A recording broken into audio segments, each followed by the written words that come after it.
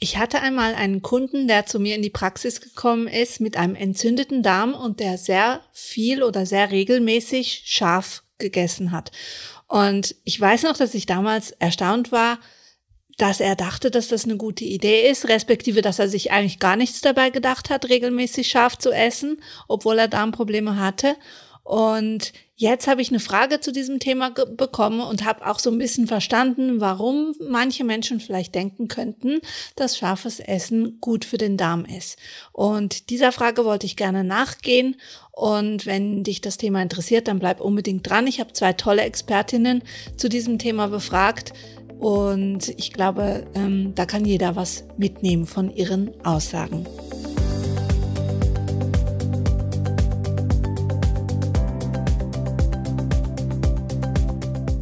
Hallo und herzlich willkommen zu einer neuen Folge des Darmglück Podcasts. Mein Name ist Julia Gruber, ich bin deine Gastgeberin und ich freue mich sehr, dass du heute wieder mit dabei bist.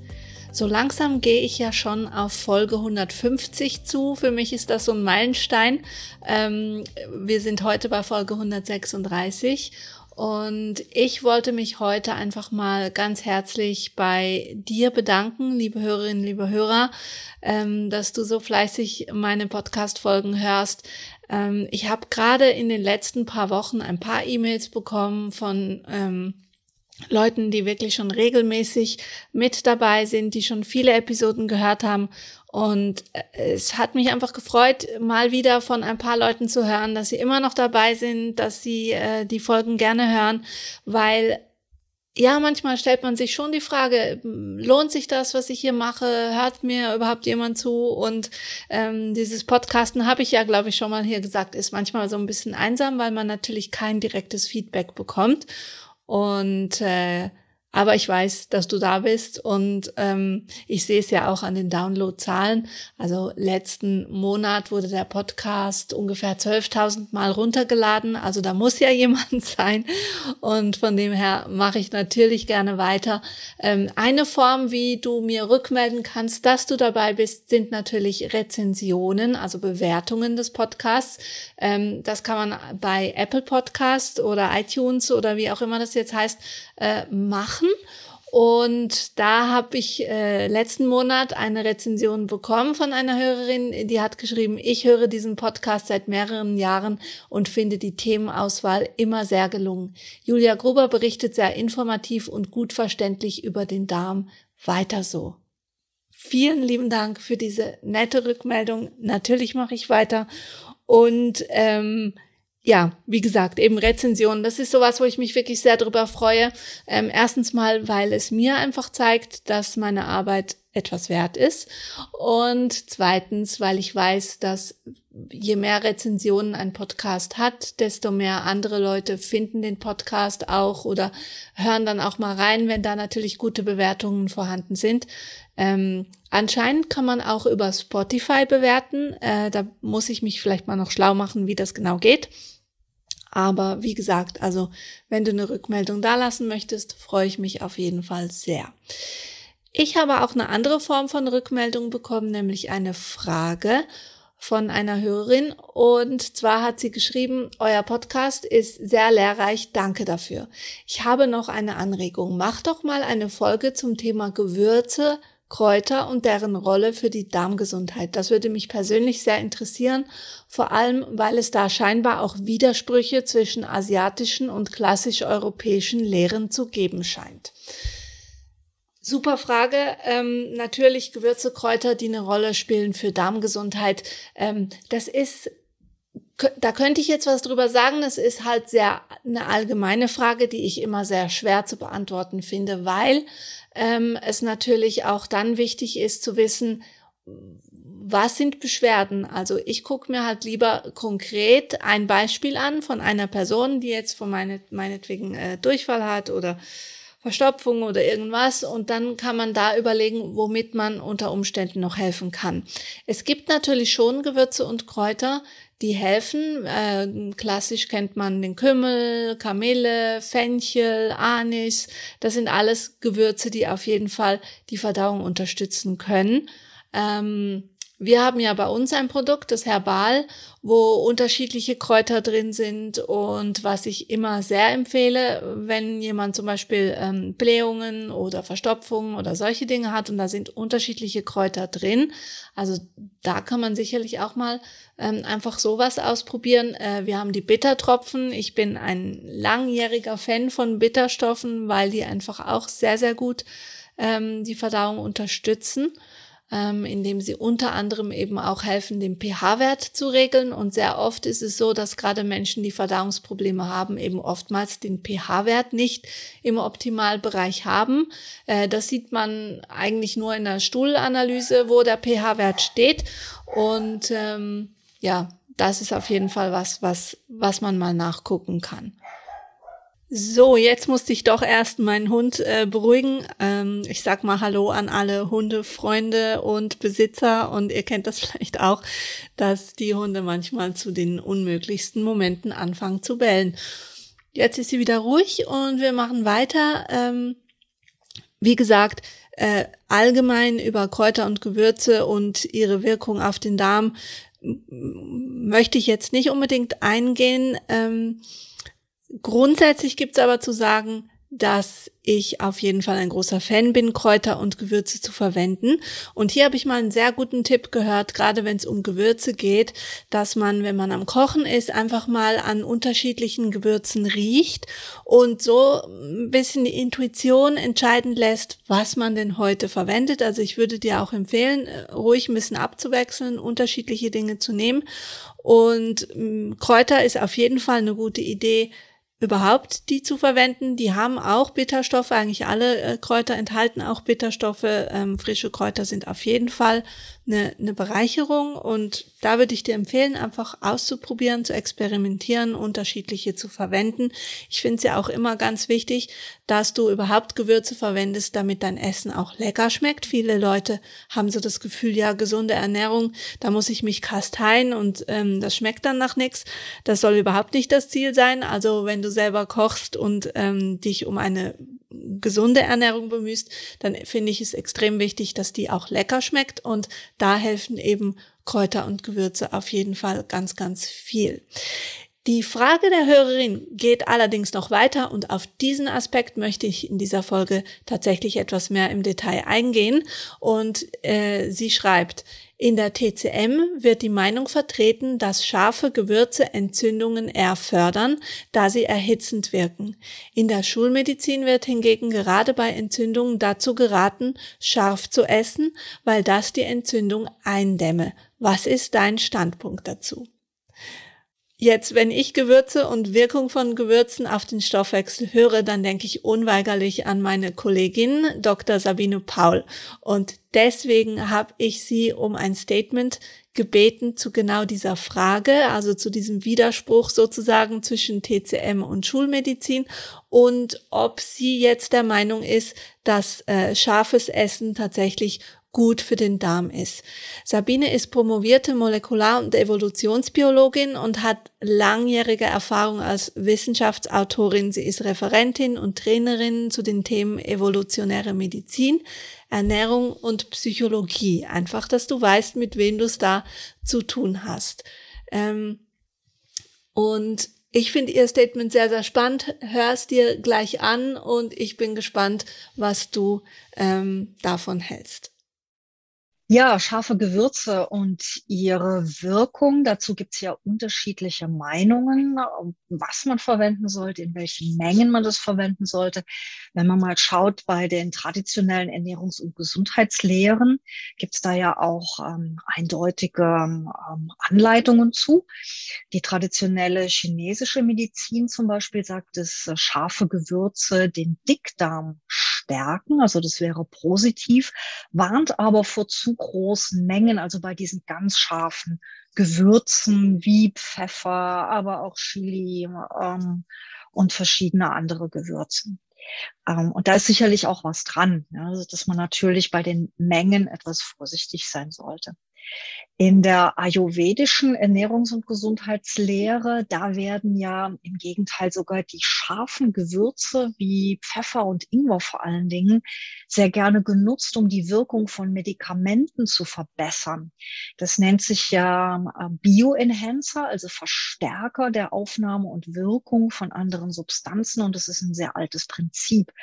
Das heißt, da werden gerade gezielt scharfe Gewürze auch eingesetzt, um da positive Effekte zu erzielen auf die Gesundheit. Ja, und wenn man mal in die aktuellen Forschungsergebnisse schaut, dann bestätigen sie und erweitern sie diese traditionellen Erkenntnisse. Ich möchte es mal an drei Beispielen kurz erläutern bei Chili, Pfeffer und Ingwer. Bei Chili hat man herausgefunden, dass es tatsächlich der scharfe Inhaltsstoff, das Capsaicin, die Darmdurchlässigkeit erhöht.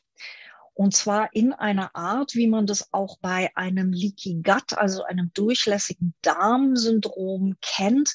Da werden die Verbindungen zwischen den Darmzellen gelockert. Das ist eigentlich das, was man nicht so gerne hat, denn wir wollen ja die Darmbarriere schön dicht, damit da ganz kontrolliert der Übertritt von Nährstoffen äh, stattfindet oder Krankheitserreger abgeblockt werden können.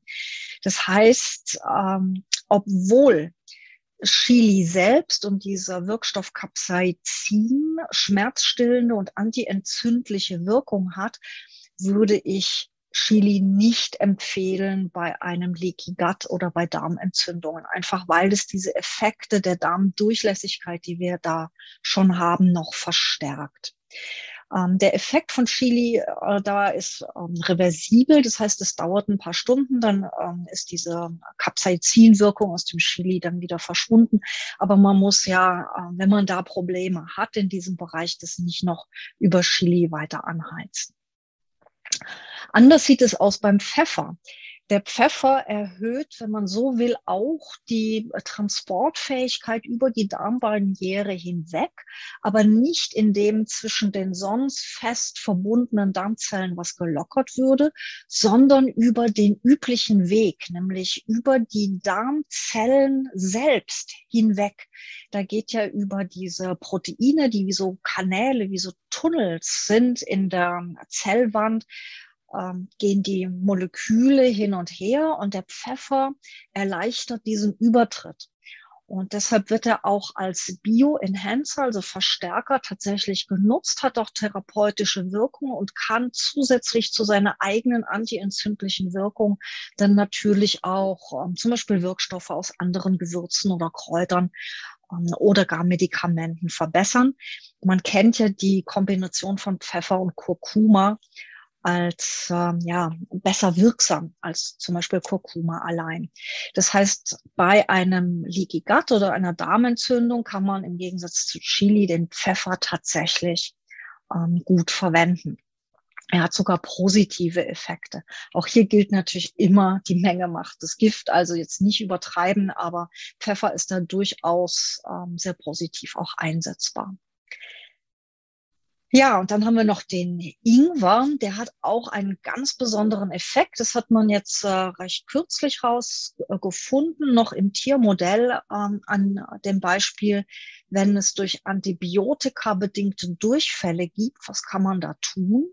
Und da hat man festgestellt, dass der Ingwer tatsächlich zwei tolle Effekte hat. Einmal sorgt er dafür, dass das gesunde Darmmikrobiom sich schneller wieder herstellt. Und zum anderen werden tatsächlich diese bei den Durchfällen auftretenden ähm, Durchlässigkeit des Darms äh, repariert, wenn man so will. Und zwar genau das Gegenteil im Prinzip, was Chili macht. Das äh, Chili öffnet ja zwischen den Darmzellen, was wir nicht haben möchten, die Tight Junctions. Und der Ingwer stellt sie wieder her. Also sorgt dafür, dass diese Darmbarriere wieder dicht wird an dieser Verbindung zwischen den einzelnen Darmzellen. Das heißt, es ist gerade dann bei Durchfallerkrankungen äh, sehr sinnvoll, den Ingwer zu verwenden und er ist ja sowieso auch ein bisschen antientzündlich. Also Ingwer und Pfeffer sind da durchaus empfehlenswert. Aus diesem Grund äh, sollte man nicht scharfe Gewürze jetzt pauschal ähm, bei Darmproblematiken ablehnen, sondern genau hinschauen, ähm, welche Situation habe ich und welches Gewürz ähm, ist da nicht sinnvoll und welche Gewürze können sich da aber auch sehr positiv auswirken. Und äh, ja, ich hoffe, dass das jetzt so ein bisschen Licht ins Dunkel gebracht hat, wie scharfe Gewürze ähm, auf den Darm wirken und auch bei verschiedenen Darmproblemen verwendet werden können. So, ich weiß nicht, wie es dir geht. Ich fand es gerade mega spannend. Vielen Dank, liebe Sabine. Wenn du mehr von Sabine hören möchtest, sie war bereits zweimal zu Gast hier im Darmglück Podcast. Und zwar war sie in Folge 123 zum Thema Immunsystem stärken und in Folge 70 zum Thema Entstressen mit ätherischen Ölen. Also diese Folgen kann ich beide empfehlen. Und ähm, ich verlinke die natürlich auch in den Folgenotizen. Außerdem hat Sabine ein tolles kostenloses Angebot auf ihrer Webseite, ähm, die heißt nerven-power.de und da hat sie einen Immunpower Schnupperkurs, den kann ich dir nur wärmstens empfehlen und ich werde den auf jeden Fall auch äh, verlinken in den Folgenotizen. Die findest du auf arktisbiopharma.ch Schrägstrich 136. Jetzt wollte ich aber gerne noch eine andere Stimme zum Thema scharfe Gewürze ja oder nein hören. Denn in der Frage war ja auch der Hinweis zu TCM gefallen. Und da habe ich natürlich an Daniela Pfeiffer gedacht. Daniela ist Diätologin, Buchautorin und sie hat sich auf das Thema Low Carb TCM spezialisiert. Und da sie halt eben das Wissen von beiden Welten verbindet, also westliches Ernährungswissen mit östlicher TCM-Diätetik, war sie ja prädestiniert, diese Frage zu beantworten. Hier kommt das Statement von Daniela. Ja, dazu möchte ich mal äh, äh sagen, dass in der DCM äh, immer der Gesamtverband äh, gesehen wird. Und sehr wohl äh, weiß man, dass, sie, dass scharfe Gewürze äh, entzündungshemmend sein können. Aber bei uns im Westen wird immer wieder verstanden, wenn etwas gut ist, dann ist viel von dem viel gut. Und das stimmt ganz einfach nicht. Wenn ich das so sehe, beim Ingwer zum Beispiel wird bei uns medial immer rauf und runter erzählt, äh, Herbst, Winter, Ingwertee ist so gut, äh, Immunabwehr steigernd und so entzündungshemmend und so weiter. Und bei uns versteht man dann von in der Früh bis am Abend Ingwertee trinken oder ungeschaut oder jeden Tag Ingwertee, Ingwer überall drüber schmeißen und Ingwer ist so gesund. Und äh, da verlassen wir jetzt natürlich das gesunde Level. Die Dosis macht das Gift. Ähm, man muss genau wissen, was man tut. Es ist immer verbunden mit Erhitzen, das stimmt, und dadurch auch entzündungsfördernd, wenn es Überhand nimmt. Ja, ich erkläre das immer total gern mit einem Lagerfeuer. Ein Lagerfeuer hat noch niemandem geschadet. Im Gegenteil, das tut gut. Ja, wenn man so ein Ingwer gezielt einsetzt oder Pfeffer, Chili, alle diese, alle diese, diese entzündungshemmenden Gewürze und so weiter haben eine entzündungshemmende Wirkung. Aber dann soll es beim Lagerfeuer bleiben. Ich brauche auch noch rundherum rundherum Feuerwehrleute, die aufpassen, dass das Lagerfeuer nicht überhand nimmt. Das heißt, ich brauche ausreichend erfrischendes Gemüse dazu, leicht verdaulich zubereitet, die eben diesen entzündungshemmenden Faktor, zum Beispiel bleiben wir beim Ingwer oder beim Pfeffer, in den Körper hineintransportieren und dort dann auch die Wirkung machen. Wenn jetzt jemand eine akute Darmentzündung hat, also das ist dann schon über dem Lagerfeuer hinaus, und ich komme jetzt mit dem Flammenwerfer Ingwer nach, Pfeffer, Chili, dann wird das natürlich überhand nehmen, das Ganze. Wenn ich das jetzt aber mache mit einem Gemüsewok oder gedünsteten Gemüse oder Gemüsesuppe und da ist etwas Pfeffer dabei und die Dosis richtet sich dann danach, ich sage immer, wenig wirkt da schon viel, dafür aber kontinuierlich genommen. Das sollte dann so gewürzt sein, dass, dass man es vielleicht ein bisschen rausschmeckt, aber nicht als Schärfe erkennt. So dass ein zweijähriges Kind noch essen würde. Dann habe ich den Wirkstoff drinnen, kontinuierlich drinnen und habe jetzt in dem Verband mit dem vielen Gemüse und vielleicht auch noch der jinnigen Zubereitungsart und DCM geht immer auf suppig, saftige Zubereitungsart. Das tut man ja im Westen nicht. Außer den Ingwer rein von Tee und alles andere ist wurscht. Also da missversteht man das Ganze. Und wenn man das richtig macht, im richtigen Verband, dann kann man es auch einsetzen. Aber jetzt nur sagen, scharf ist antientzündlich und deswegen ist es gut, wird bei uns im Westen einfach völlig falsch angewandt. Mhm, super.